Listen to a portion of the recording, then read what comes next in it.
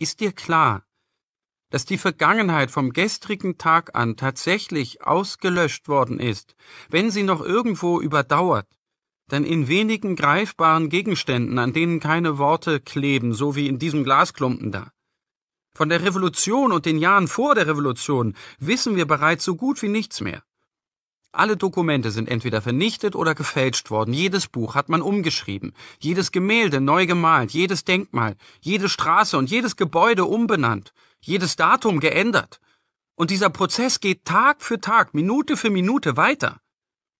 Die Historie hat aufgehört zu existieren. Es gibt nur eine endlose Gegenwart, in der die Partei immer Recht hat.